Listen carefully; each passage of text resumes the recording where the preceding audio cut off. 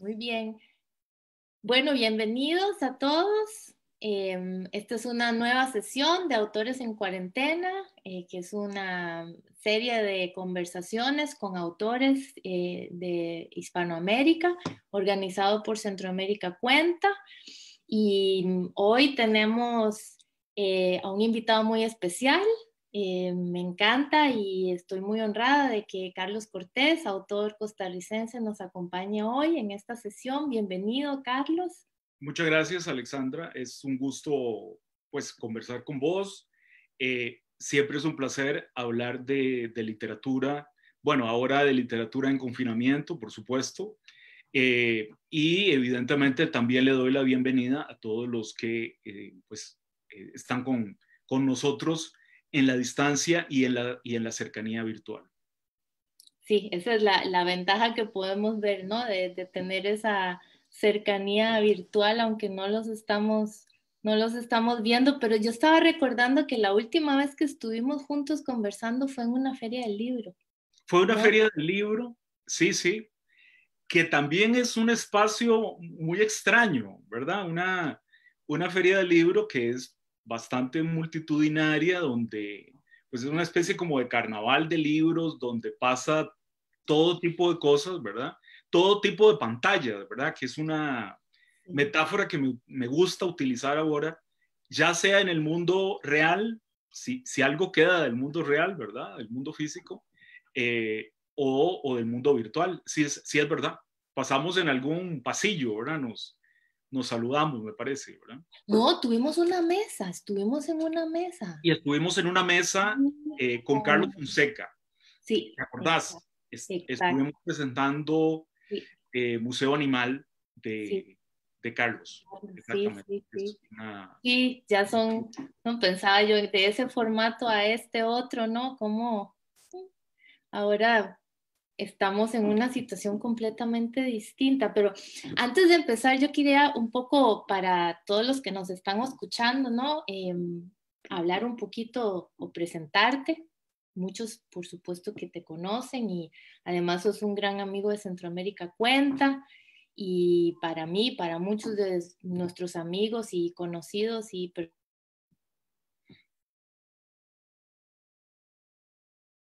Centroamérica con una obra muy, muy vasta, muy amplia. Eh, ¿no? Has publicado alrededor de 25 libros, poesía, narrativa, ensayo.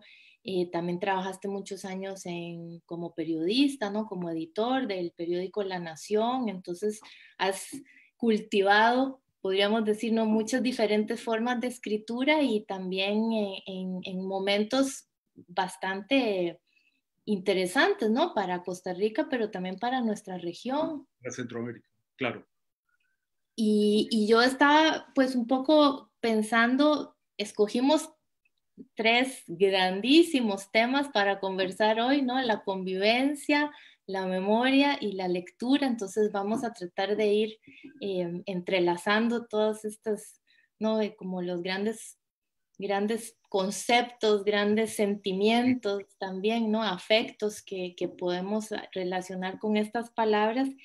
Y yo pensaba mucho en Cruz de Olvido, ¿no? Que es una novela tuya que, que, fue muy, muy importante, es muy importante para lo que hemos llamado la posguerra centroamericana, ¿no? El, el momento de la Centroamérica globalizada, neoliberalizada, ¿no? con profundas desigualdades eh, económicas, sociales, en, en, otro sentido, no como las que conocíamos de los tiempos de los conflictos armados.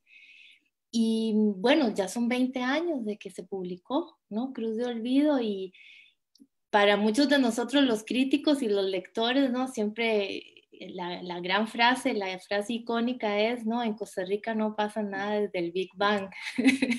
y eso yo creo que se convirtió también como en una, en una frase un poco para definir también mucho nuestra generación. Em, creo que funcionó de una manera súper productiva. Y yo quería preguntarte qué, qué, qué, qué, provoca eso si la lees hoy otra vez, ¿no? En este contexto en el que estamos. Sí, eh, bueno, me, me, hace mucha gracia Eh, a menudo me preguntan, me hacen esa, esa, esa pregunta, ¿verdad? Y, este, y sí, pues Cruz de Olvido se, se publicó en México hace, bueno, hace un poco más de, de 20 años, como bien decís, ¿verdad? Eh, y esa frase yo, yo la, la, he oído ya, este, que es lo, lo, mejor que le pueda pasar a un escritor, ya la he escuchado este, sin ser atribuida, es decir, un poco como parte, digamos, de la memoria colectiva, ¿verdad? Es que en Costa Rica, el momento en que yo escribí la novela, pues fue un, un acto de provocación. La novela está, la novela pues fue, como es un libro, un, un pequeño ensayo de detonación de los mitos nacionales, eso en algún momento lo, lo, conversamos vos y yo, ¿verdad? Y uno de esos grandes mitos nacionales es ese, ¿verdad? Que, eh, que en Costa Rica no pasa nada. La novela, eh, como algunas otras novelas mías, está llena de crímenes, de misterios por resolver y de grandes preguntas sobre eh, la identidad nacional y lo que podemos ser, pues, o los costarricenses, las costarricenses eh, y toda una, una problemática eh, identitaria, ¿verdad? Eh, yo trato de contestar esa pregunta en, en una novela que, que, salió hace unos cuantos meses, que es El Año de la Ira. Algunos amigos en broma me han dicho que debía haberle puesto El Año de la Peste, porque este, inmediatamente de la ira se transformó en otra cosa, ¿verdad? Yo creo que esa, la, la, digamos, el contexto ideológico costarricense siempre ha sido muy diferente al del resto de la región centroamericana eh, y eh, por lo menos desde los años 20 ha habido una muy consciente construcción social del olvido desde el Estado, desde el, desde el Estado nacional. Eh, y yo lo, lo, menciono en esta novela, en el año de la ira, en relación con la caída de la última dictadura que hubo en Costa Rica, de los hermanos Tinoco, de 1917 a 1919, y cómo, cómo cuando hay una restitución eh, oligárquica y llega el presidente Julio Acosta, pues él lo primero más o menos que dice es, bueno, aquí no ha pasado nada, ¿verdad? Bueno, yo creo que eh, esto se ha ido resquebrajando un poco. Yo creo que yo soy en buena medida parte de una generación que empieza a escribir en los ochentas, eh, que está motivada por otros autores eh, que también tratan de recordar, ¿verdad? Y creo que este es uno de esos momentos eh, para recordar. No tengo idea de cómo se va, eh, de cómo se va a recordar, pero bueno, en, en, buena medida nuestra generación y yo mismo, por, por razones familiares y razones individuales, escribo contra el olvido. Digamos, de alguna manera yo siento esa responsabilidad de que el escritor eh, tiene que combatir el olvido, tiene que, que, destruir la historia oficial y tiene que escarbar en esa especie de palincesto eh, y descubrir lo que hay detrás de las paredes y contarlas y un poco sacar los cadáveres del, del sótano. Pero bueno, estamos en medio todavía, digamos, de la, no sé si al principio, no sé si a, en qué momento, es muy difícil de, de predecirlo, ¿verdad? Eh, pero creo que sí dará, obviamente quedarán heridas y señales y, y, y, la literatura se trata justamente de escarbar en esas heridas. Sí, ahora que, que decías que, que sos un autor ¿no? que empieza a escribir en los años 80, que también es una década tan particular para, para la historia costarricense, la historia centroamericana. Eh, yo siempre no pongo como contrapunto ¿no? que desde las ciencias sociales ¿no? siempre se, se, ha insistido y el discurso, digamos, aceptado es ¿no? que la década de los 80 es la década perdida ¿no? de Centroamérica. ¿no? Y eh, Alberto Torres ¿verdad? De América Latina, ¿no? Y hay muchísimos trabajos que insistieron mucho en eso, ¿no? Y sobre todo cuando se enfocaban en Centroamérica, pues era como todavía todo más perdido. Pero yo quisiera como rescatar un poco, ¿no? ¿Qué, ¿Qué, es empezar a escribir en lo que se supone que es esa década perdida, ¿verdad? Y, y tal vez eh, eh, esa, digamos, ese llamado o esa relación que vos tenés con escribir contra el olvido pueda tener que ver, ¿no? Con un contexto tan particular en el que te empezaste a, formar en el oficio de la escritura. Bueno, eh, esa década desde el punto de vista de, la literatura centroamericana, eh, yo diría que no es, y lo, lo, sabes muy bien, pues bueno, no es para nada una, una década perdida, yo diría que la década del, testimonio, ¿verdad? Y, y, ese periodo nos deja este, testimonios muy importantes, eh, eh, el, de, el de Rigoberta, Rigoberta Menchú, evidentemente, ¿verdad? Toda una serie de testimonios, memorias, biografías eh, sobre la revolución salvadoreña, nicaragüense, etcétera, ¿verdad? Claro, eso llega a Costa Rica, pues, si se quiere, muy filtrado, ¿verdad? Cuando mi generación comienza, o, en mi caso personal, digamos, particular, comienza a escribir, de alguna manera estamos entre eh, entre, esa, eh, entre ese grupo de testimonios y todavía una presencia muy marcada del, del boom latinoamericano. Yo tal vez el, el boom que a mí me, más, interés, más me interesa es una especie de segundo o tercer boom en el que estarían Cabrera Infante, Reinaldo Arenas y, y, autores, digamos, que, que, no estaban en ese momento, eh, si se quiere, o no eran considerados como de primera fila. Pero comenzamos a escribir como una especie de sentimiento de culpa de que no podíamos contar lo, mismo que, contaban otros colegas centroamericanos, ¿verdad? Yo recuerdo haber conversado mucho con, eh, con amigos que siguen siendo amigos, por fortuna, eh, guatemaltecos, ¿verdad? y que decían, bueno, es que en Guatemala hay que irse, ¿verdad? No, no podemos escribir aquí, es un ambiente asfixiante, etcétera, ¿verdad? Bueno, ya había mucha migración en, en Costa Rica eh, de, de, nicaragüenses o que habían vuelto, de salvadoreños, etcétera, ¿verdad? Entonces era, era un medio en el cual se ponía nuevamente eh, al frente la cuestión eh, de qué se puede escribir en Costa Rica, ¿verdad? Es decir, si estás, ¿qué es la necesidad de combatir el mito del paraíso? ¿Verdad? Bueno, si estás en el paraíso, dicho esto en enormes comillas, ¿verdad? ¿De qué puedes escribir? ¿Dónde está el conflicto? ¿Qué es lo que hace que la literatura sea interesante? ¿verdad?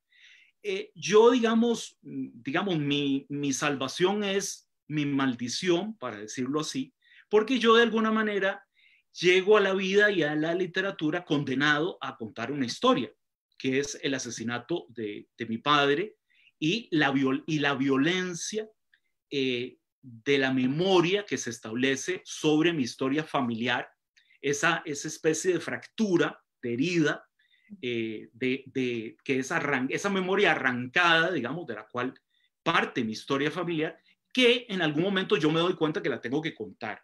Y eso, esa fractura de alguna manera me salva o, me permite contestar esa pregunta, ¿verdad? Pero que es una pregunta que yo creo que el escritor costarricense la tiene como una, especie de espada de Damocles, ¿verdad? ¿De qué se puede escribir aquí si no estás en, el borde de la catástrofe, como muy a menudo se siente el, escritor centroamericano? Sí, yo creo que, también es... Em, es parte también tal vez de las, de las comunicaciones así interrumpidas que ha habido, ¿no? También, en, si uno piensa en la historia literaria, ¿verdad? Y o, bueno, la crítica literaria también, ¿no? De, podemos o no podemos hablar de que esa es una literatura que comparte ciertos rasgos, ciertas preocupaciones, estilos. Y, a lo mejor estos últimos años han empezado a, mostrar que sí, ¿no? Que, lo que pasa es que hay muchas temporalidades muy distintas, ¿verdad? O, velocidades distintas, eh, obsesiones distintas. Finalmente es muy difícil eh, digamos, homogenizar, ¿no? Eh, o, uno no quiere hacer eso, ¿no? En realidad, porque la literatura es todo lo, contrario de eso. Pero pensando también en, esto que decías, ¿no? De tu, digamos, como tu motor, ¿no? Y, tu, lo, que siempre está ahí, ¿no? Presente con respecto a narrar y narrar en contra del olvido de diferentes discursos. Yo me preguntaba si, ya que has escrito ¿no? y publicado poesía, eh, ensayo, narrativa, cuento, novela, si hay alguno de los géneros que te parezca, ¿no? Como el género en el que podés tal vez resolver mejor o en el que podés trabajar mejor el tema, ¿no? Del olvido y la memoria y, otros géneros son para otro tipo de obsesiones o si es algo que, no, que no tiene ninguna particular importancia cuando empezás a escribir?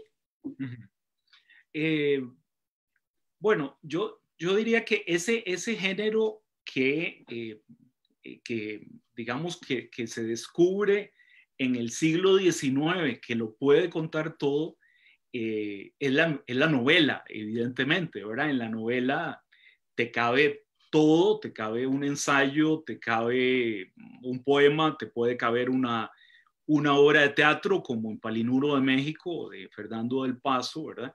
Eh, y yo hice, si se quiere, una, una lenta travesía del desierto de la poesía, mis, mi primera década más o menos. Eh, yo, yo soy un, un, novelista un poco, un poco eh, tardío, yo empecé a, a, publicar novela a partir de los 30 aproximadamente porque había no sé si desperdiciado mi vida en la poesía, no, no sé cómo decirlo, ¿verdad? Eh, eh, hasta que llego justamente eh, a Cruz de Olvido. cuando yo tengo una crisis personal y, tuve una importante hace 15 años, tendía todavía hace 15 años a escribir poesía. Y entonces mi último libro, que después eh, digamos, el proceso creativo eh, se completó con algunos fragmentos que no incluyen Larga Noche hacia mi madre, que es otra, otra novela, eh, corresponden a ese, a ese periodo. Entonces escribí unos, un, libro de, de poemas hace 15 años. Y cuando se da en, bueno, en marzo ya es muy claro que tenemos que ir al confinamiento, que efectivamente lo que habíamos pensado y que estábamos dando en las clases eh, que decía la sociología de la cultura desde hace décadas, que el espacio físico ya no existe como lo entendía la modernidad, que el tiempo es un, fluido eh, y que eh, pues la pandemia realmente iba a afectarnos de una manera totalmente globalizada. Yo dije, bueno, vamos a ver qué sucede si vuelvo a la poesía eh, o sigo la narrativa, pero, pero no, este, me quedé en la narrativa. Lo que hice al principio fue leer mucha poesía, eso sí, sigo siendo un, lector de, de, poesía, pero no, no, mi género, yo diría que desde hace 20, 25 años eh, ha sido la novela. Eh, he intentado llevar un, una especie de diario de batalla del confinamiento. No sé si llegará a alguna parte, porque por ahora es algo de anotaciones, pero, pero, pero el género, tal vez esto, esto en la fragmentaria realidad eh, posmoderna del siglo XXI es un poco iluso, ¿verdad? Plantear que, la, que ya hay, que, que la novela puede comprender la totalidad de la condición humana, yo creo que ya estamos muy alejados de eso, por supuesto, y mis memorias son muy fragmentarias, ¿verdad? Pero aún así pienso que, la novela es un poco un cajón desastre y desastre, donde cabe todo, donde cabe cualquier cosa, ¿verdad? Y claro, depende de cómo se hace caber y a partir de, qué estructura se hace, pero es la novela.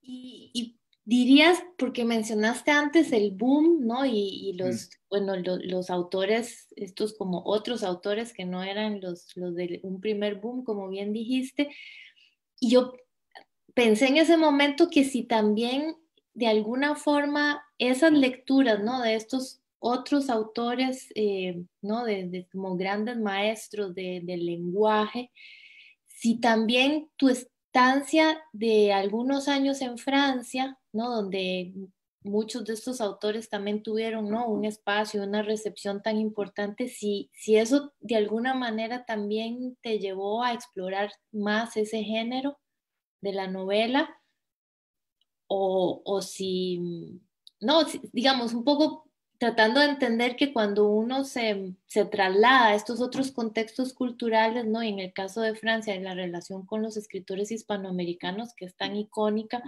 si ahí también hubo un momento tuyo, ¿no? De un encuentro particular con el género de la novela. Eh, es, esto que decís es, es, muy interesante. Este, yo, yo escribo la primera versión de Cruz de Olvido, que, que en ese momento... Eh, me da, un poco decirlo, me da un poco pena decirlo. el primer manuscrito se llamó Los costarricibles, que, que es una frase de la gran eh, poeta costarricense Eunice Odio, que ya hablaba no de los costarricenses, de los costarricibles, y este, después se llamó Novela Negra con Olvido, que es un título que no le gustó al editor y, y yo se lo quité, y un querido amigo, Sebastián Bequerano, me sugirió Cruz de Olvido. Esa novela yo la escribí en Francia. Entonces, eh, es verdad que, la, que Francia me permitió de alguna manera eh, redondear y terminar un proceso creativo que yo había empezado más o menos ocho años antes. Eh, yo me llevé a Francia porque iba con mi esposa María Lourdes Cortés a estudiar básicamente, ¿verdad? Eh, y yo también tenía, que, tenía una gran tarea académica, pero también tenía mucho más tiempo libre. Y este, la novela exige una determinada disciplina y eh, pude eh, darle una estructura que es un poco la estructura general que tiene. Era mucho más, mucho más larga, tenía 250 páginas más de lo que tuvo el manuscrito final. era un magma, ¿verdad? Como un poco lo llamaba Cortázar, ¿verdad? Las, a las primeras versiones. Y a partir de ahí, pues fue cobrando forma eh, ya eh, cuando yo volví a, Costa Rica. Lo que fue muy interesante, eh, y yo, yo no sé si, si vos sos bilingüe con el alemán, si te sentís bilingüe, pero lo que fue muy interesante, yo no lo soy para nada en, en francés, por supuesto, es el, digamos, el contacto entre los dos idiomas, que son dos idiomas totalmente distintos. El francés es mucho más preciso que el, que el castellano. El castellano es mucho más rico eh, en todos los recursos estilísticos, ¿verdad? Y ahí vos pensaste, pues mencionaste o pensaste en Cabrera Infante, que para mí es, digamos, o Lesama, ¿verdad? O Carpentier, que es un poco los, los arquetipos de esta manera barroca, de este modo barroco, eh, de, la literatura en castellano, ¿verdad? Eh, y yo me, volví, eh, si se quiere, mucho más preciso a partir de mi contacto con el francés. No sé si es una, una no, no sé si es que me hice viejo, ¿verdad? Pero uno tiene ahora más, está más consciente del peso de las palabras de alguna manera, ¿verdad? Y entonces ya no sos capaz de poner cualquier cosa y de escribir durante seis horas y que te salga lo, que sea, ¿verdad? Eh, eh, eso fue lo que me produjo, ¿verdad? ser más consciente de la, de la estructura narrativa y de alguna manera del lector, ¿verdad? De esa comunicación con el lector que de alguna forma e, es preciosa y que no puedes desperdiciar. Eso sí me pasó. Sí. Y tal vez tomando esta, esta idea que decís de, de la conciencia, ¿no? De la precisión del lenguaje, ¿no? Y de, este, del trabajo, pues finalmente con un lenguaje mucho más preciso. Yo em, quisiera tomar uno de los títulos de una de tus antologías de poesía, ¿no? Que también lo comentamos cuando estábamos preparando esta, esta conversación que se titula Festín en época de peste, ¿no? Y que es una antología que reúne eh, mucha de tu poesía y claro, ese título estuvo mucho antes que, el virus y que la pandemia, ¿no? Y uno siempre piensa, o, yo siempre estoy muy fascinada como, el poder o el, digamos, la capacidad anticipatoria que tiene la literatura, ¿verdad? Y, y yo quería preguntarte si, o sea, ¿por qué ese título, verdad? ¿En qué estabas pensando en ese momento cuando, cuando armaste e, esa antología de tu poesía? Y, y digamos, ¿qué tiene que ver eso tal vez con, con una fragilidad del ser humano o, o, como finalmente, no sé, como humanidad, como colectivo o digamos, ¿qué, ¿de dónde venía esa, ese interés tuyo o esa tal vez esta fascinación, no sé, por, por poner ese título? Bueno, ese, ese título efectivamente eh, me, me, acompañ, me acompañó durante mucho tiempo eh, Festina en época de peste es una, una obra de teatro pequeña de Pushkin, de Alexander Pushkin, que es un autor que a mí me gusta mucho, como otros, como otros rusos, ¿verdad? Eh, y Pushkin lo tomó a su vez de una descripción de un autor escocés, eh, Wilson me parece que se llama, de la ciudad de la Praga, que, que él lo publicó a principios del 19. Y yo me imagino, me imagino que era una peste de cólera. Y ahí eh, Pushkin recrea un poco esta contradicción que también se ve en el carnaval, ¿verdad?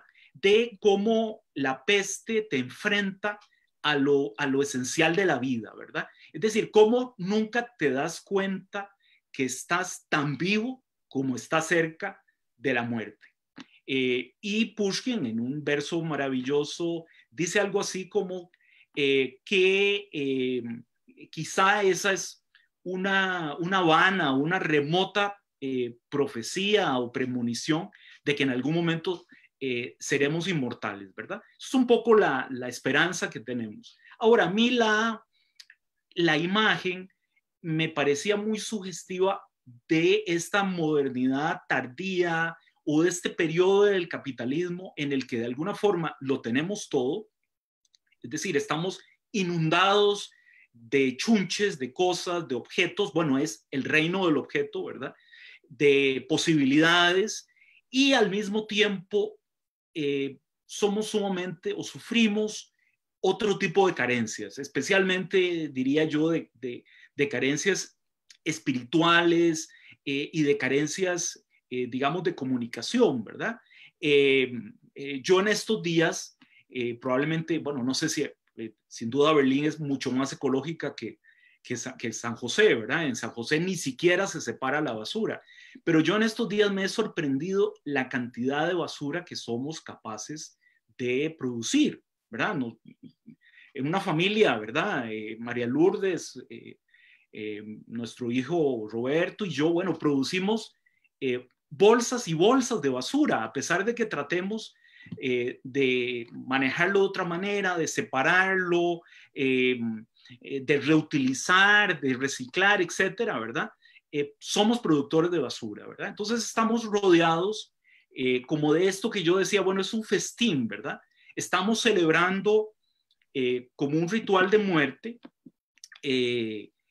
a pesar, digamos, de que este, también tenemos la esperanza de la vida. Entonces, me parece que es un momento en que se reunían con toda claridad estas dos grandes pulsiones, ¿verdad? Eh, y el último libro de e, esta es, eh, Festiga en época de peste es una antología de poesía, pero se reúne un libro completo que se llama La casa vacía, que es probablemente lo último que yo he escrito en poesía, eh, que de alguna manera lleva los sentimientos al extremo, ¿verdad? Y por eso le, por eso le puse ese, ese, ese título. Por supuesto, eh, sin, sin creer, yo, yo creo que la, sin saber lo que iba a pasar, ¿verdad? Pero eh, me parece que la, la, fragilidad humana es algo eh, consustancial al acto de escribir. Cuando yo escribo, no puedo generalizar, pero, pero me parece que, que, a muchos otros autores les puede pasar eso, ¿verdad? Yo creo que es esencialmente en ponerse en situación de fragilidad, de alguna manera en, desnudarse, ¿verdad? En quitarse las, las pieles, las máscaras sociales, ¿verdad? Y ponerse y sentirse profundamente frágil y someterse a la palabra a partir de ese momento. Por lo menos yo lo hago así y, por lo menos en mis novelas que, que son eh, algunas un poco extremas, digamos, ¿verdad? Lo, lo, lo, hago así. Entonces creo que la fragilidad es, es, es consustancial, digamos, a la, a la escritura y al acto de escribir. Quizá eh, habíamos caído en una especie de, estoy aquí hablando, digamos, evidentemente del mundo globalizado y este, de países de altos ingresos, ¿verdad? Pero bueno, estamos pensando, pensemos que el 60% de la humanidad tiene teléfonos inteligentes, ¿verdad? Es decir, solo un 40% está totalmente aislado de, digamos, está incomunicado desde un punto de vista digital. Eh, habíamos caído como presos de esta especie de sueño de que no podía pasar nada, ¿verdad? De que, de que yo lo llamo a veces un poco como el mito del Titanic, ¿verdad? Es decir, el, el, barco perfecto que no puede ser, eh, que no puede sumergirse, que no puede hundirse, ¿verdad? Y bueno, pues nos estamos hundiendo, este, además por un, por un virus, ¿verdad? Ni siquiera por un, por un iceberg, ¿verdad? Sino por, un, eh, por algo que no vemos y que no conocemos y que está ahí, ¿verdad? Entonces, claro que tenemos, que somos profundamente eh, frágiles. Y pienso que la literatura lo, lo, debe eh, plantear, lo debe esbozar. Sí, ahora que te escuchaba, claro, yo creo que toda esta situación está de alguna manera mostrándonos precisamente esa fragilidad, ¿verdad? Eh, eh, yo creo que eso ya estaba completo, de alguna manera parecería algo que no nos que no, no, era competencia ya del ser humano sentir ningún tipo de fragilidad, ¿verdad?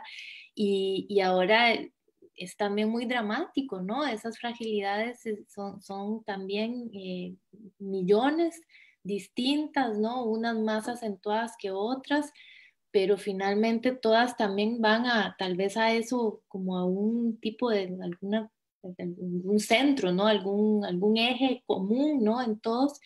Y claro, ¿no? La literatura siempre ha sido como nuestra gran no sé cómo llamarlo, ¿no? la gran voz que por ahí nos dice, así como, ¿no? Que, que, hay ciertas cosas que no cambian, ¿no? O que no deberíamos tal vez de dar por sentado o tal vez recordar más a menudo.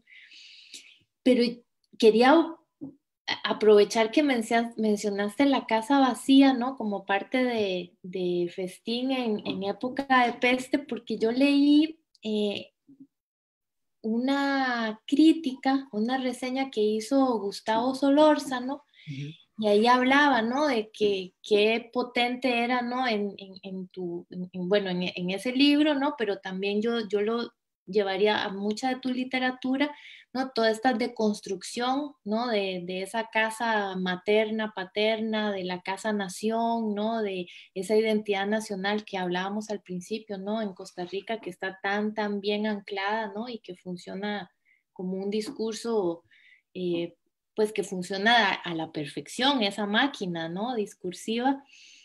Y tratando de llevarlo a, a este momento que estamos viviendo, yo quisiera que nos dijeras o, que expresaras un poco si pensás que eso es posible que cambie, ¿no? Si, si nuestra crítica a estos discursos sobre la nación, a esta idea de la casa-nación, si van a seguir siendo críticos en a partir de ese momento o si ahí va a haber un cambio que tal vez todavía no podemos ver hacia dónde va a ir.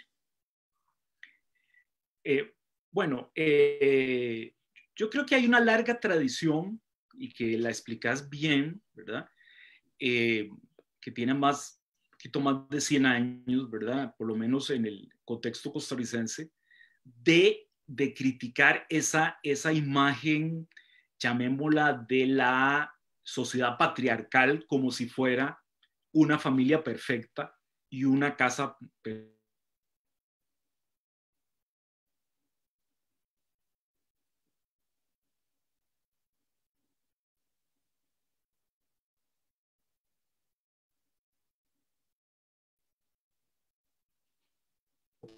eh, de un modelo social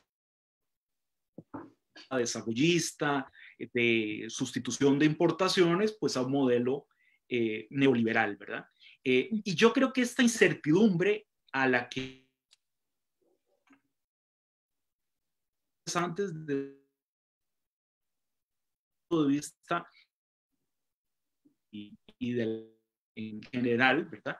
Esta incertidumbre yo pienso que va, va a resquebrajar un poco ese discurso que ya ha venido resquebrajándose, ¿verdad?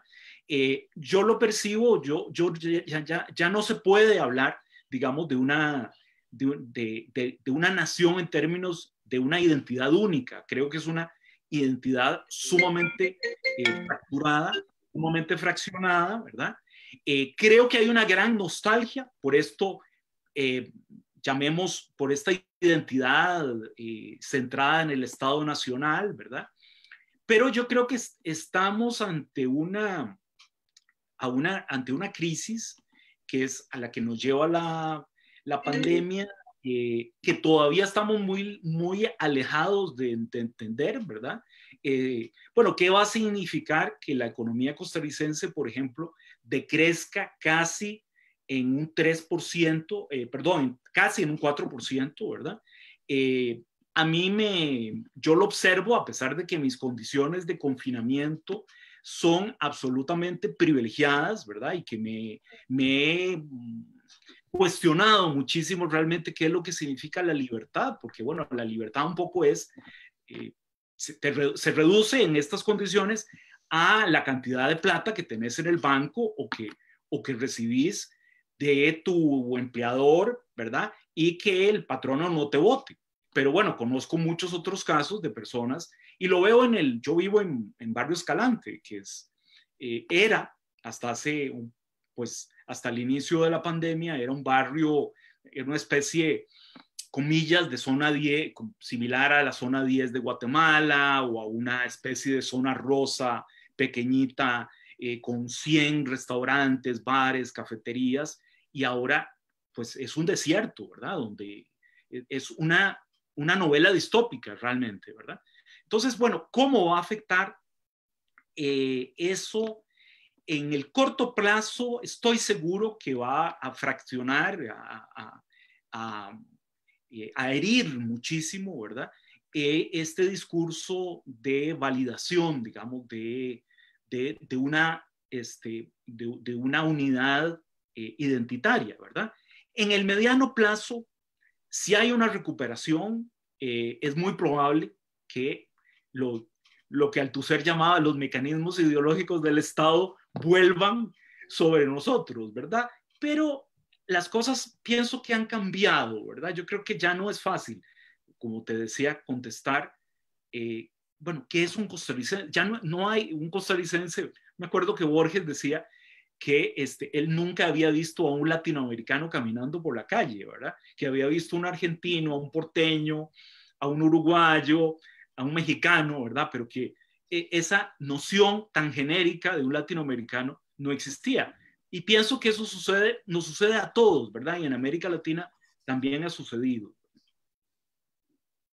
Sí, yo yo, yo todavía como que no he podido resolver, ¿no? O sea, yo me pregunto mucho qué va a pasar, ¿no? Con, con estos diferentes discursos, porque sí pienso que, como, como decís, ¿no? Que se va a resquebrajar, pero por otro lado siempre está también ese temor, ¿no? De, de que suban, ¿no? Como todos estos discursos como hipernacionalistas, ¿verdad? Como, bueno, no, porque también digamos, la forma en que el, los medios ¿no? han, han, decidido relacionarse con esta nueva situación es también un poco, ¿verdad? Yo lo escucho aquí, es que escucho mucho la radio, ¿verdad? Es lo que, lo que realmente escucho, pero si uno se va en esa, digamos, en, ese, en esa canción, ¿no? Es, es, es, casi como todos los días diciéndote, ¿verdad? O sea, este Estado está haciendo todo lo que estar haciendo para que todos ustedes estén bien, ¿verdad? Y las cosas.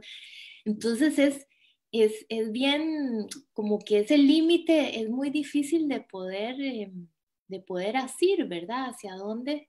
Eh, porque nosotros mismos, claro, estamos de alguna manera, como vos decís, ¿no? Con ciertas libertades, digamos, más limitadas, ¿no? O sea, aquí hay mucha discusión acerca del ejercicio de la ciudadanía, ¿no? O sea, déjenme salir, ¿verdad? Yo no quiero estar encerrado en mi casa, pero tiene tantas, tantas, tantas, este, como, digamos, grados que es bien complejo, ¿no? Y, tal vez como bien decís, seguramente sea la literatura la que pueda elaborar mejor eso, ¿no?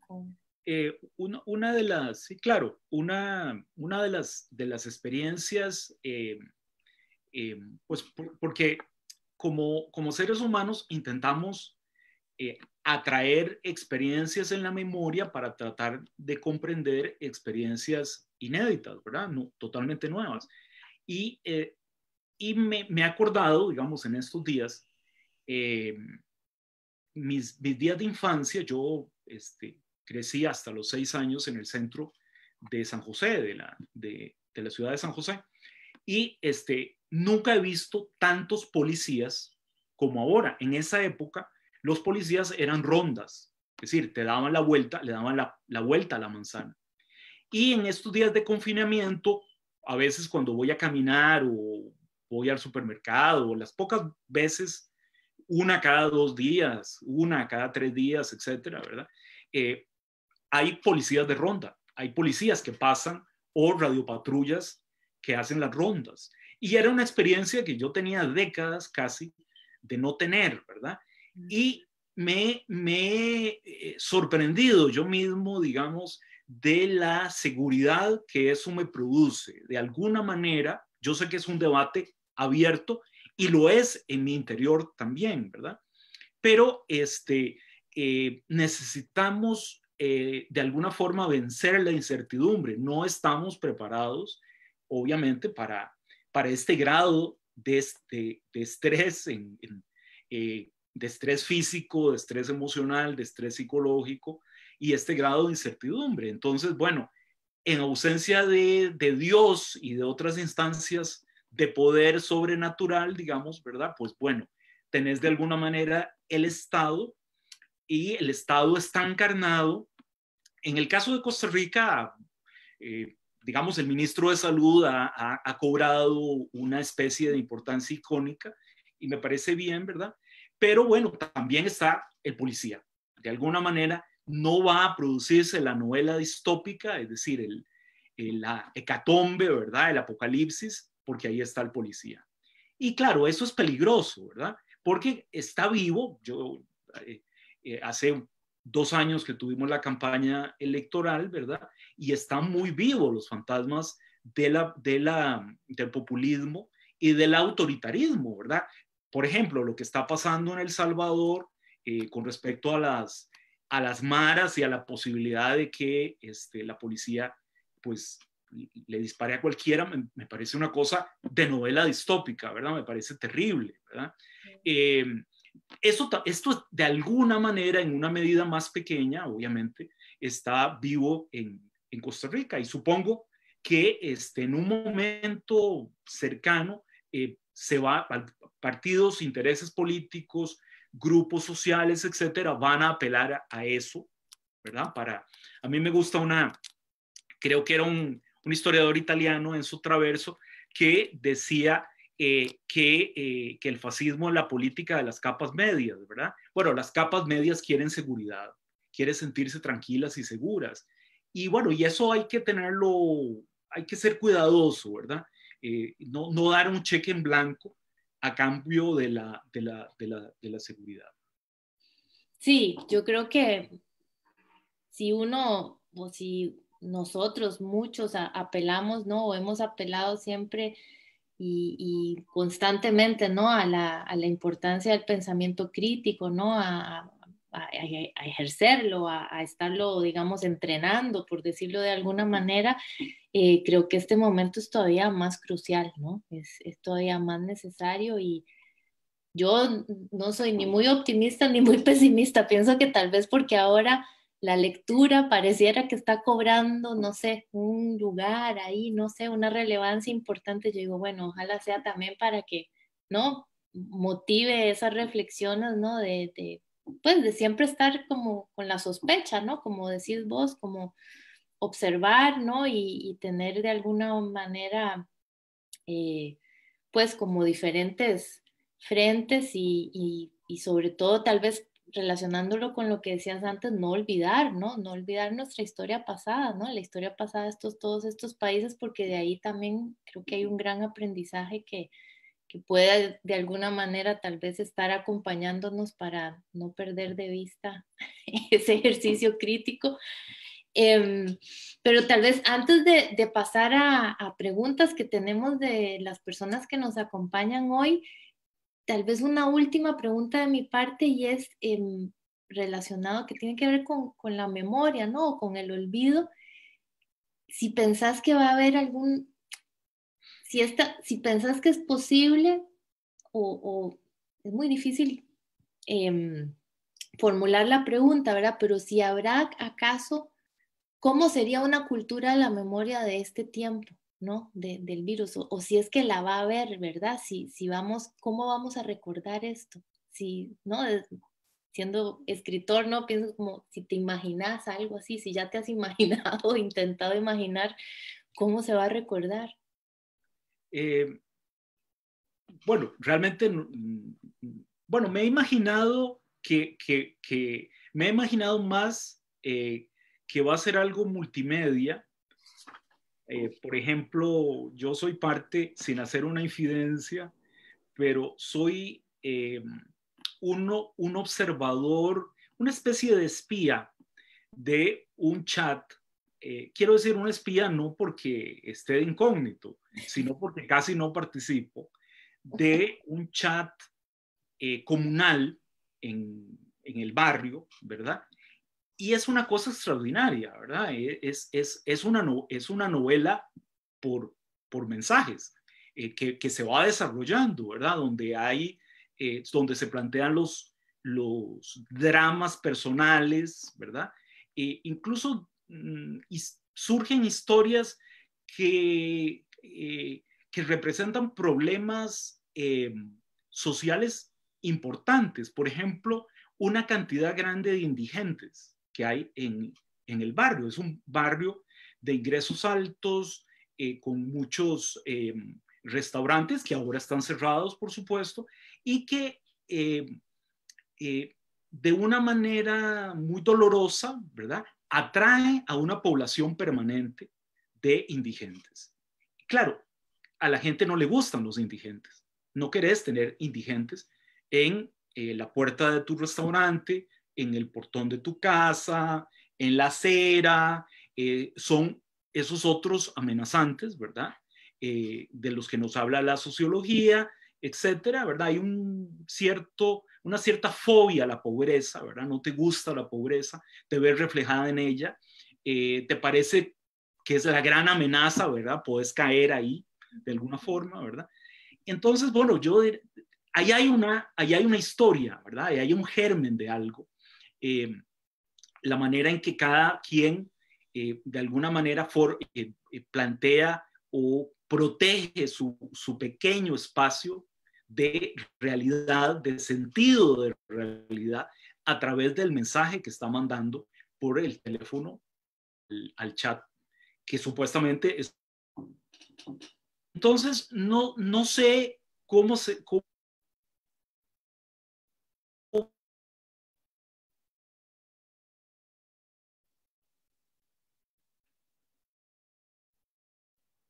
de, eh, de, de, imágenes, de una gran cantidad de imágenes, eh, de memes, eh, de, yo he visto más ese tipo de, comillas, literatura, ¿verdad?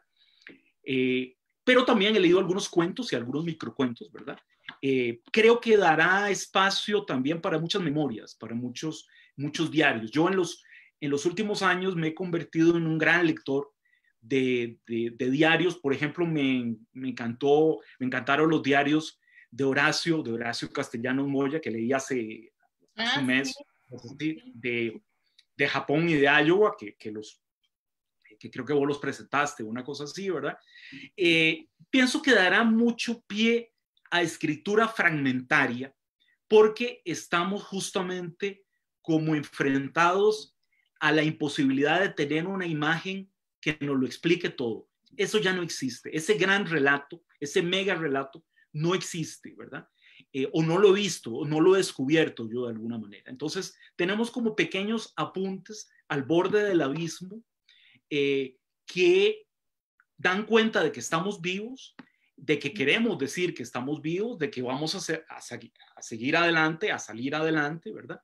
Pero mucho más de eso yo no, no tengo muchas otras certezas, siendo optimista, por, por supuesto. Pero sí creo que habrá, que habrá memoria, claro. Claro que somos memoria, ¿verdad? Es decir, el, el, el, presente no existe, lo que existe es la memoria, la memoria del presente, porque el, el presente se disolvió en el momento en que yo estaba tratando de, de capturarlo y esa memoria, claro que pasará eh, a, la, a, la, literatura, probablemente a una literatura muy fragmentaria. Sí, y, y tal vez haya que pensar en, eh, no, como ciertos momentos, ¿no? El, el, momento como inmediato y luego, ¿no? ¿Qué, claro. ¿qué, va a hacer dentro de un año, ¿no? Y, y, tal vez este momento inmediato, como bien decís, tiene muchísimo que ver con esta forma del diario. Yo he visto, ¿no? Muchísimas publicaciones, ¿no? Este, el diario eh, de la pandemia, el diario del virus, el diario así, ¿no? Diferentes como ensayos que están haciendo muchísimos escritores eh, de, todo lado, prácticamente, ¿no? También las cartas, ¿no? Ese, ese tipo de, de, ¿no? Los epistolarios que a uno nos gustaba, bueno, a mí me parecían tan fascinantes, ¿no? El siglo XIX y todo, y ahora como que vuelven en, en, en pues, con, con, con, estas con estas angustias y estas preocupaciones y esta gran incertidumbre, ¿no? Entonces, eso es interesante, ¿no? Que se recuperan eh, géneros tal vez menores, olvidados, el diario, como bien decís, ¿no? Seguramente también. Y... Pienso que ya íbamos un poco en esa vertiente, ¿verdad? Es decir, uh -huh. los últimos 15, 20 años de literatura latinoamericana ha sido muy, muy rica en, eh, en, en el discurso de la no ficción, ¿verdad? Ya hay mucho, se ha publicado, se han publicado muchas memorias, eh, diarios, eh, cuadernos de apuntes, eh, crónicas, ¿verdad? Pienso que habrá crónicas, mm, es decir, tenemos, estamos en un momento de una de cronistas latinoamericanos, cronistas eh, en, en, Latinoamérica extraordinarios. Pienso que, que, que, eso se va a dar eh, probablemente en la, en, la, en la segunda o tercera ola pandémica, para decirlo de esa manera, ¿verdad? Eh, ¿Qué pasará después? O sea, ¿cómo se va a recordar? No, no lo sé. Los cronistas eh, europeos y estadounidenses del siglo XIX que llegaron a Costa Rica se sorprendían que aunque la población había decrecido eh, por la epidemia del cólera, eh, prácticamente no había testimonios y la gente no lo recordaba, ¿verdad? Eh, tenemos testimonios, tenemos, pero ¿qué tenemos? Del cólera del, del 56-57, ¿qué tenemos? Tenemos letanías, oraciones, imágenes. Uh -huh. Tenemos otra, otra producción, si se quiere, textual, ¿verdad? Claro. Eh, y, y, al, y, algunas procas crónicas, etcétera. Pero décadas después, la población, aunque había perdido el 15% de sus habitantes, eh, una generación, este, importante, ya no la recordaba. Entonces, ¿qué pasará, verdad? Eh, creo que, que, que, sí la recordaremos, por supuesto, pero dependerá de cosas que ahora, que todavía no han surgido todavía, quizá. Sí. Bueno, tenemos muchísimas preguntas, entonces, si te parece bien, te voy a, te las voy a, te claro, leo, claro, por supuesto. te leo dos y luego puedes contestarlas y luego pasamos a otros dos para para que podamos incluirlas todas. Primera pregunta de Patricia Orozco. Dice que por favor profundices en mujeres divinas y las motivaciones para escribirla. Y otra pregunta de Linda Baez Lacayo. Ella pregunta, ¿cómo superar el escaso conocimiento que existe de la literatura centroamericana en Centroamérica? Bueno. Los dos eh, primero y después otros dos. Bueno, eh, eh, Mujeres Divinas es uno de mis tres libros de cuentos. fue el primero que se, que se publicó, si no ando mal, se publicó en el 94 y alguna vez he pensado o algún editor amigo me ha, me ha propuesto publicarlo. Mujeres Divinas es un texto bastante extraño. Yo en ese momento era, es el momento de transición entre mi primera novela, Encendiendo un cigarrillo con la punta del otro, que es una novela que solo tiene primeros capítulos, es una novela experimental, y lo que iba a ser después mi narrativa. Y está centrada esencialmente en historias fantásticas, en monstruos y en pequeños episodios que trato de narrar. También hay alguna, casi todos mis libros incluyen una muerte o un asesinato. Entonces son historias bastante, bastante, eh, bastante extrañas, que alguna vez tendré que volver sobre ellas con, con, otra, con otra mirada. Em, la, la, literatura centroamericana eh, es muy poco conocida, incluso en Centroamérica, ¿verdad? A veces yo digo en broma y en serio, ¿verdad? Que la literatura costarricense es poco conocida eh, más allá de San, Pedro de Montes de Oca, que es donde está la, la Universidad de Costa Rica. Eh, y, y eso es el resultado de que no tenemos industrias culturales eh, en común, ¿verdad? No existe prácticamente ningún mecanismo eh, de circulación del libro y de los textos y de los autores, más allá de instancias como el Festival Centroamérica cuenta, pero en este momento no hay ninguna, eh, ninguna editorial. Yo creo que debería, digamos, si pudiéramos resolver eh, o ponernos de alguna manera de acuerdo, por lo menos en una política cultural regional, que es ahora, estamos muy alejados de eso. Pienso que deberíamos al menos tener una plataforma digital donde estuvieran todos los libros centroamericanos accesibles a una, quiero decir, todos los libros clásicos centroamericanos, tal vez hasta los años 70, 80 del siglo pasado, eh, fácilmente a cambio de una descarga. Pero estamos lejos de eso. Yo pensaba que en el Vicente, para el Bicentenario de la independencia podía lanzarse un cierto proyecto similar a eso, ¿verdad? Tener, por ejemplo, eh, algo así como una colección eh, regional, ¿verdad? Que la última que se hizo la hizo Educa, la editorial universitaria centroamericana, y se hizo de una manera eh, maravillosa, pero con, gracias a a, una idea de Sebastián Baquerano, que era el director, y a medio millón de dólares que, que dio la Unión Europea. En este momento eso es muy complicado. Próxima pregunta, de parte de Gustavo Solís. Leí su libro El año de la ira. Me pareció muy curioso que ciertas cosas que sucedieron durante el periodo de la dictadura han incidido de una forma muy trascendental en la cultura costarricense hacia los extranjeros. La pregunta es, ¿cree usted que en este sentido el periodo por el que pasamos vaya a afectar de una forma negativa a Costa Rica, asentando ideas tan fuertes hacia el extranjero como se dieron en el periodo de la dictadura? Eh, a ver, este, mm, no sé eh, no sé a qué, a qué percepción sobre el extranjero se, refiere. Eh, a ver, se planteó algunas cosas. En ese momento se criticó muchísimo eh, la muy sospechosa concesión petrolera eh, que ganó una empresa estadounidense y también se criticó la fuerte presencia de la compañía bananera y de Minor Keith. Y bueno, y esta es una continuidad, obviamente, en, repúblicas que fueron calificadas como bananeras, como, eh, como fue y como es Costa Rica. Yo digo ahora que Costa Rica este, no es una banana república, es una anana república, porque bueno, somos el principal productor de piña del mundo, me parece, ¿verdad?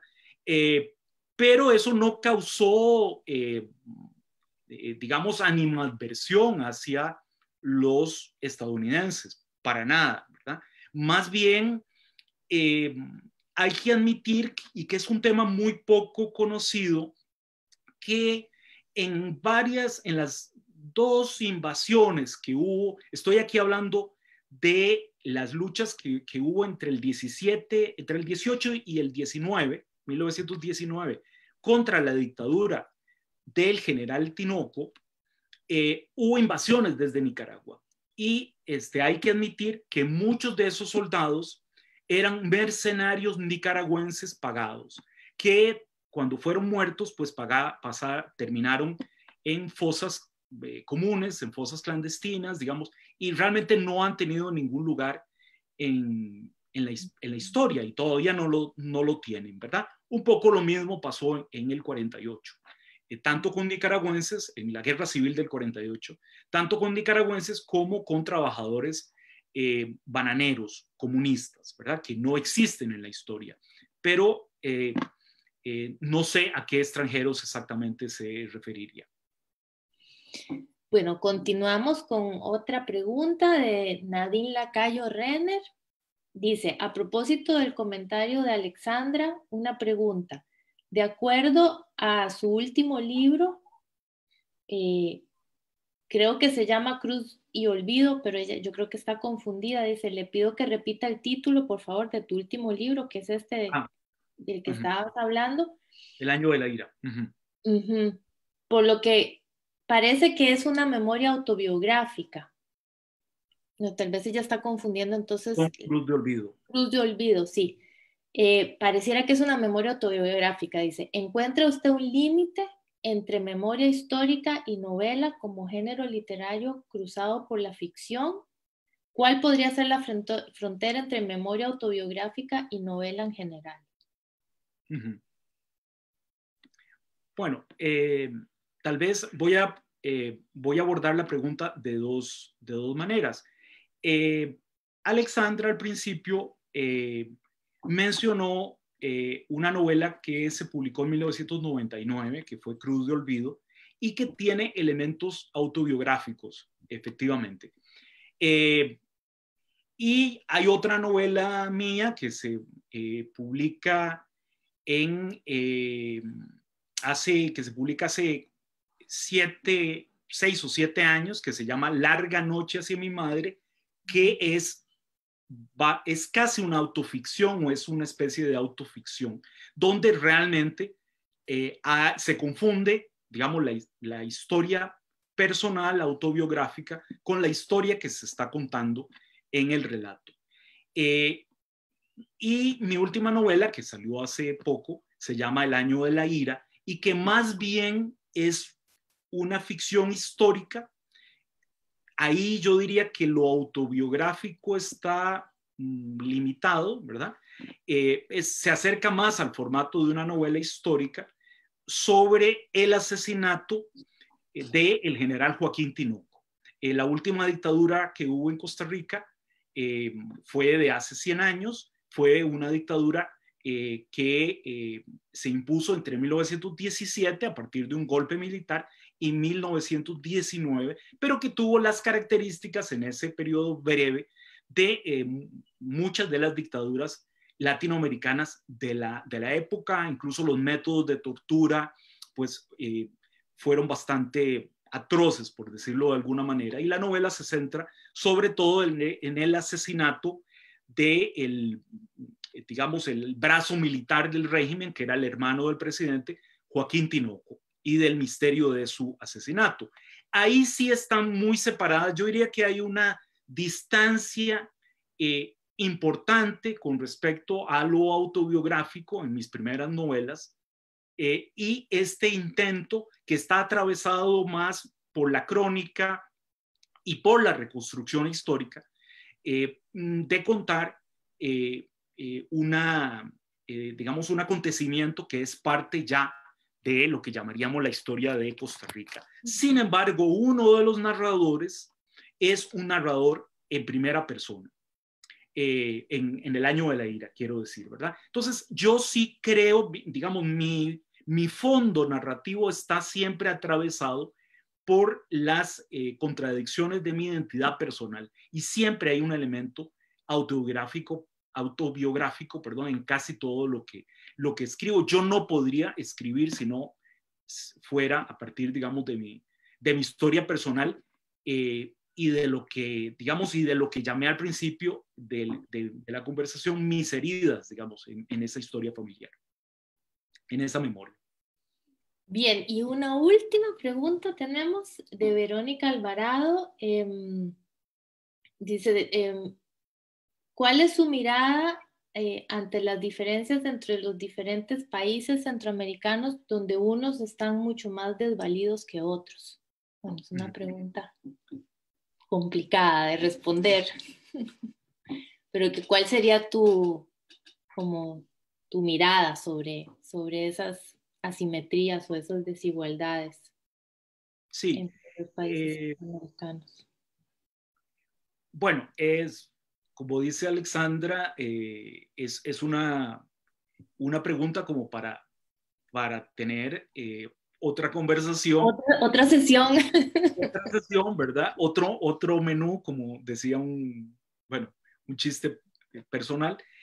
Pero quizá no sea yo la persona eh, que, debería contestarla, ¿verdad? Sino un, historiador y un, sociólogo. Sin embargo, yo sí quisiera reivindicar que estamos en la misma nave, ¿verdad? Eh, a veces se ha visto la historia eh, costarricense como aislada de la historia centroamericana. y, y, en Centroamérica pienso más en la Centroamérica que va de, Costa Rica eh, a Guatemala en una primera instancia, ¿verdad? Y luego, evidentemente, eh, a la que se incorpora eh, Panamá, ¿verdad?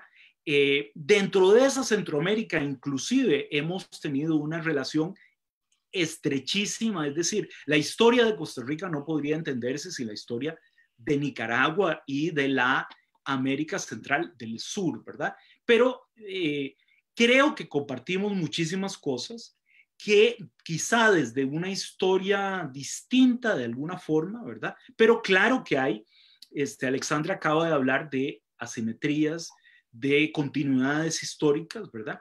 Eh, bueno, hemos compartido muchísimas cosas eh, y creo que nos hemos beneficiado enormemente, ¿verdad? Por ejemplo, de elementos como de la eh, migración, de muchísimos centroamericanos hacia Costa Rica, que me parece que este, nos, nos ha permitido ser una sociedad no solo multicultural, eh, incluso multilingüística, sino también evidentemente más rica y más fuerte. Me parece que la, la inmigración es una de las grandes fortalezas de la historia humana, ¿verdad? Y que, y que hay que... Yo no, no me gusta ver a los centroamericanos como desvalidos, ¿verdad? Este, me parece que las, las sociedades centroamericanas son frágiles, eh, que lo son institucionalmente, eh, que lo son socioeconómicamente, ¿verdad? Pero que tienen una riqueza cultural eh, notable, extraordinaria, y que deberíamos partir de ahí tratando de alejar el fantasma que siempre aparece del autoritarismo, ¿verdad? Este, que, y que lo hemos visto en los últimos años, yo lo he visto con una enorme preocupación en algunos países del, del, área, ¿verdad? Eh, eh, y que eh, de alguna manera espero que esta, esta especie de, de pausa del capitalismo salvaje, de, este de esta puesta en paréntesis del capitalismo salvaje, este, nos dé la posibilidad de repensar eh, el área de, en términos de, cooperación y de, y de, ayuda, ¿verdad? Eh, pero creo que somos obviamente parte de, eso también, ¿verdad? También Costa Rica tiene enormes problemas eh, sociales en otra dimensión, quizá, ¿verdad? Pero si no los vemos, vamos a repetir un poco este estereotipo contra el cual yo he escrito tanto, que es el de ser un país excepcional y estar este, como alejados de, de, la región en la que estamos totalmente integrados, más. Pues muchas gracias, Carlos, por todo tu tiempo, eh, a todos nuestros amigos y amigas que están ahora escuchándonos y viéndonos, ya saben, tienen, les recomiendo muchísimo que lean a, Carlos, que lean sus libros. Eh, hoy pudimos también conversar un poco sobre algunos de sus libros y además sobre qué es estar, ¿no? Eh, ser, estar escribiendo y pensando la literatura en estos tiempos de confinamiento y de cuarentenas. Así que muchísimas gracias. Eh, como siempre, un gran gusto. Vos, Alexandra. La pasé muy bien. Espero que los que nos, nos escuchan en la cercanía y en la lejanía la haya pasado eh, tan bien como yo la, yo la pasé. Muchísimas gracias. Un abrazo hasta Berlín. Muchas gracias. Espero, la primavera. espero que nos podamos dar el abrazo no no dentro de demasiado tiempo. Exactamente. en persona y para todos los que nos escuchan antes de que terminemos, eh, quiero recordarles que el primero de mayo eh, tenemos otra sesión de autores en cuarentena y esa vez eh, el primero de mayo van a estar Pilar Reyes, Philip Hunziker y Juan Cruz conversando sobre el futuro de los libros. Y la cita es a las 2 de la tarde hora de Nicaragua, hora centroamericana, y a las 10 de la noche hora de España, hora europea. Así que están invitados y muchas gracias. Muchas gracias a vos. A lavarse las manos.